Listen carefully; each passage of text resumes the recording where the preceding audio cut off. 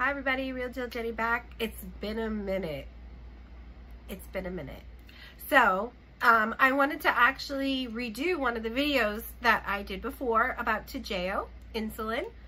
Um, there was a few comments, I couldn't see the injection, this and that.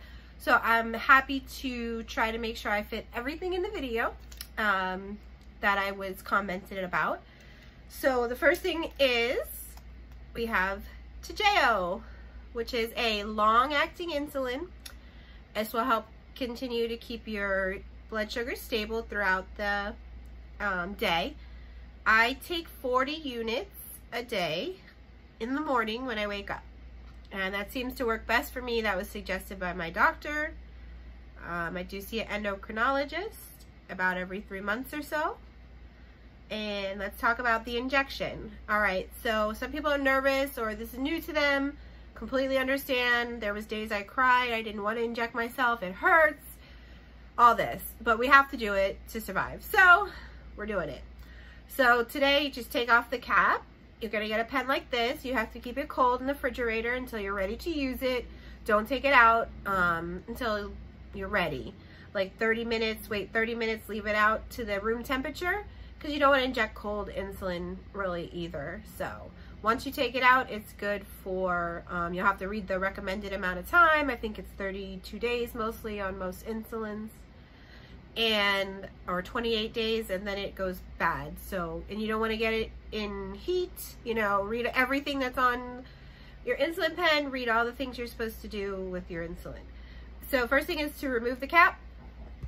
And the insulin is basically preloaded in a pen uh, this is the plunger and it pushes it up and out now these you do have to purchase separately um, pen needles needle tips excuse me.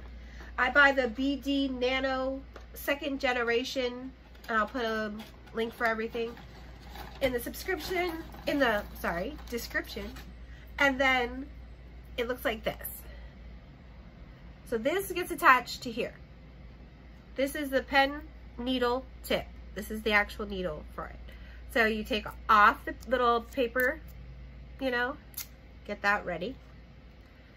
And then I put Simply Push this on. You push a little bit, you twist it, twist it till it's tightened. Okay, and then I save this. I pop that off, save it for later.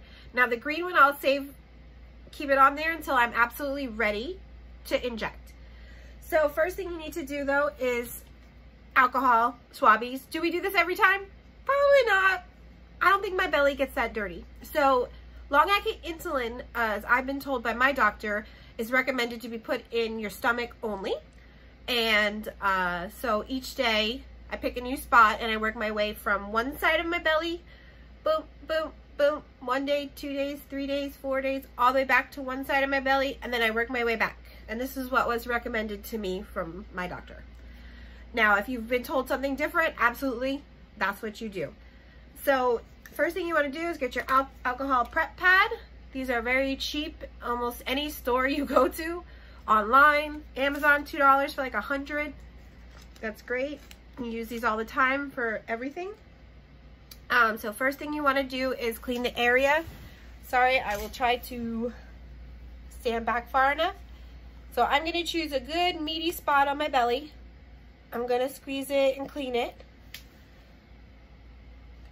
And then I'm going to remove the green cap. First thing you want to do is make sure you prime the cap. So I turn it to one unit. I turn from zero to one. And then I push some out. I hope you can see it. See, I got a drip. That's good. That means it's working. So I go to my 40. I go to 40, 40, and it looks like this and the plunger is going to push it out. So there's the needle, very carefully back to my spot. and then I push the needle in gently. Gently, this one really doesn't hurt. And then you start to push on the plunger. That injects the insulin. I count to 10. 1, 2, 3, 4, 5, 6, 7, 8, 9, 10. I release and I let go. And that's it. No major scarring, no bleeding. And I'll tell you why. I chose a very small needle. Well, my doctor. Um, I was getting a lot of bruising and it just happens sometimes. It's important to squeeze. And so then I just re I put the green cap back on, the plastic cap, and I twist it back off all together. So the needle's back in here. And then you go ahead and you put in your sharps container which is for all your medical supplies. And then I just put the top back on. It's very important to keep this clean. I forgot one step. So normally, I'm sorry, before you put the needle on, you would go ahead and wipe this off just to make sure it's clean. Now, if you don't, obviously, hopefully, I won't get any kind of infection. I do this a lot, sorry. Um, and I've never had an issue, so. Also, I wanted to talk about your other insulins you might take. I take a, it's not a long acting, it's a regular acting, meaning uh, it works within two hours. So this is Novolin R, and it comes in a glass vial like this. And uh, so I'm gonna show you how to inject Novolin R. Now I'm about to eat, so for me, short acting or fast acting insulins that when you eat your, that you take, you may take if you're type 1 or even some type 2s when you eat. I personally cannot take because my sugar would drop when I eat. My insulin has a tendency to kick in real fast when I eat. And if I take the insulin and then my personal working insulin, because I'm type 2, kicks in, I drop and then it takes me about two hours to get back up. So I have to take a longer acting one. So I can take it and then I have two hours basically to eat. And uh, this is what just what works for me. If you have any questions about that, message me. Absolutely. Um, so this is Novolin R. Now, the size of the needles that I use for the Toujeo is, um, it's 0.23 millimeters and uh, times 4 millimeters. So it's a four millimeter pen needle and it's super tiny. So that's why it doesn't hurt. I really don't feel it. That was suggested by my doctor. Now, I don't know why, but we have an eight millimeter. Let me show you. The needle is a little bit longer. It's still pretty thin, you know. So it hurts a little bit more than the other one. So, okay, so you have your vial insulin. Um, say you have one like this. Some of them are preloaded. I know there's all kinds of great stuff out there that you put them in your pump, um, all that. But this is just to show you how to inject Novolin R. So, or how I inject Novolin R. So I take five units before I eat. So first thing you want to do is, and the same thing like Toujeo, take it out, wait 30 minutes out of the refrigerator if you have it just refrigerated. Now this is good for, I've been told 40 days.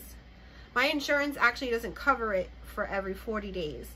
So, um, don't quote me on that, but the pamphlet I read and the, the research I did online says about 40 days. And it does still work for me. Don't quote me on that. Again, it may be different for you or your doctor um, or the different kind. So basically, I take my vial. You're going to flip it upside down. Try not to drop it. You drop it. Sometimes they break on the hard surfaces. Um, recently, one of my cats knocked over my vial and I had to get it replaced and wait for the insurance. So that wasn't fun. All right, so you take your syringe and you take your vial. Now I'm gonna get another alcohol swab and I'm gonna show you this actually injection into my arm today. So I'm gonna pick a spot that's pretty chunky back there if you have um, you know, fat like me. That's good. If you're really skinny, you have to find that little bit of little bit of thickness that you can get. So I'm letting that dry. And I feel where it is because it's cold. In case anybody's like, how do you remember where? It's cold. The air is touching it. I know where to inject. So again, remove the orange or whatever color guard that you have, the plastic piece. Save that. Don't throw it away yet.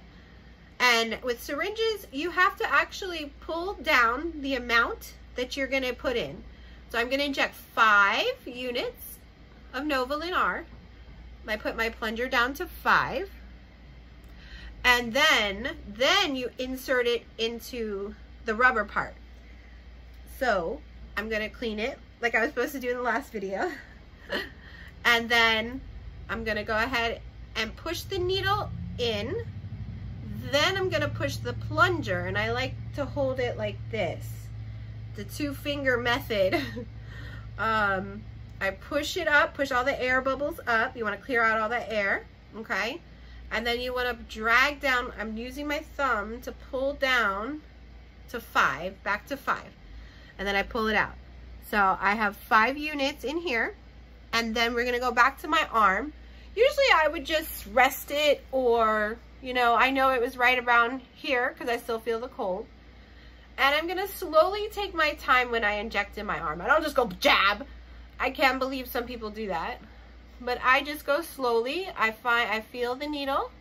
Do you recommend using um, a mirror. Once I feel it touch my skin, I'm going to slowly push it in. No pain today, thank goodness. See, I'm pushing it, and then I'm going to push my plunger using my pointer finger. And I pushed it in, and I'm pulling it out. No rush, simple for me. Um, I don't rush it. Some people that might, like, maybe feel better. Absolutely, go ahead, whatever you're comfortable with. That's just me. So I chose to inject in my arm because I'm about to eat, and I already did my belly today. So, you know, with regular acting, not the long acting, you, I've only been told you can put into your stomach. With the regular acting, um, I inject in my thighs and the back of my arms also, as well as my stomach. So that kind of helps with the bruising or the pinching, because sometimes you get a little pinch, you know, it's a needle going into your skin. Um, I can't say that it's never completely hurt. Sometimes you really don't feel it, but other than that, to me it hurts. So, but it's not a big deal now that I've been doing it for seven years. So uh, when I do my thigh, I would do the same thing. Now I did not have to pinch my arm because I know my arm doesn't hurt me. So if you wanted to pinch, you would have, it would be very hard to pinch and inject, but it could be done um, maybe with some practice or if you have somebody that can go ahead and um, do that for you. So um, that's great. I love when people want to do my injections for me. I'm like, yes, I don't have to do it. So um, that is how we inject Toujeo. That's how you would inject Novolin R, regular acting insulin in a vial. And if anybody has any questions, please comment below. Let me know how this video was, if it was better than the last Toujeo video, if I explained everything properly. Um, again, alcohol, alcohol, swabby everything. And um, get ready for some more videos coming in because I'm back on track. So thanks everybody for watching. You have a great day. Real Deal Diabetic Jenny.